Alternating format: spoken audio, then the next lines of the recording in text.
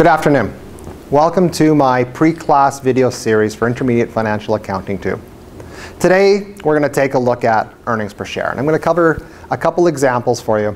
A couple things that I want to make sure you're clear about before you come to class so that class will be a great experience for you and you'll really understand earnings per share very, very well. Let's get started. Our first example. Now, calculating EPS, pretty straightforward. Net income divided by the number of shares. That's your earnings per share. Well, it's not quite as simple as that when you get to this level. Here's our information. Here's our number of shares. What we have to do is we've got to basically look at some very important information. So in this example, the number of shares is a million. Pretty straightforward, 1 million shares. What is the net income amount available to the common shareholders? Is it as easy as the 4 million? No. What we have to recognize is that first right of dividends go to the preferred dividend shareholders. So we have to take the net income, subtract out the preferred dividends. This is often forgotten on tests and quizzes. You're going to get into the diluted EPS calculations. They're going to be tricky. You're going to spend a lot of time understanding those. And you'll forget about preferred dividends. So why I'm emphasizing this, and I'll emphasize it in class so many times, is let's try not to forget this. Let's try not to forget the preferred dividend effect. So this will give us now our answer of 3.9500. Always take your answer to four decimals when doing EPS chapter. Always four decimals. It's really straightforward. Just always go to four decimals. So again, key thing, let's not forget to take out preferred dividends from our net income in our numerator here. Second part, our second example.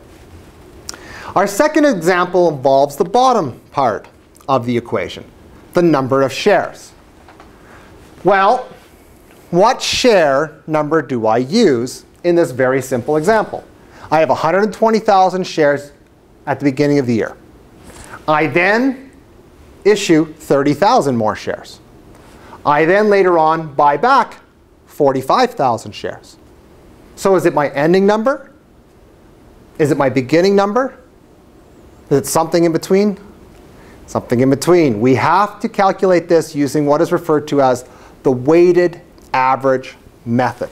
So let me just go through how to do that with you right now. So I'm going to set this up under months. So what period did we have nothing change? January to basically February. So January to February, nothing changed. So our shares were 120,000 our portion of the year was 2 twelfths. So therefore, our weighted number is 20,000. That's how you do your first row calculation. Now, we need to go and do the next one. We need to take a look at what changed as of March 1st. Well, we issued 30,000 more shares. So from March onwards, we had 150,000 shares.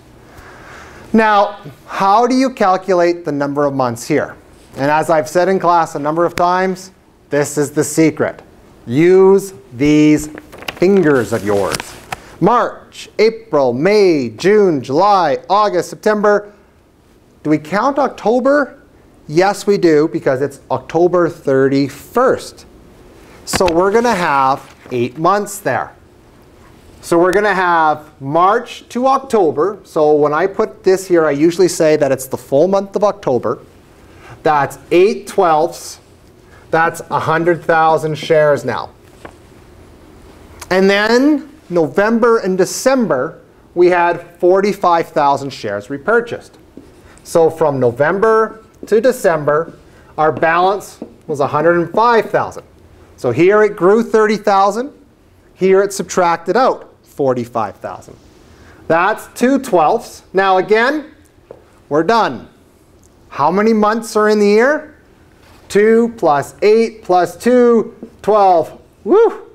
We'll even put a smiley face there. Do not be the person who has this equal 13 or 11. Seen that too many times. So double check your calculations. Use these wonderful fingers that you've been given to calculate your months and just go slow. This will be 17,500. So our weighted number, 137,500. That's how you start and come up with your calculation for the weighted average number of shares. So again, spend a little time on this. I always encourage you to be the teacher. Create your own little questions so that this sinks in. And when you come to class, we'll spend a little bit more time on this, and you'll be very comfortable when we move forward to the intermediate and advanced material. Have a good day, everyone.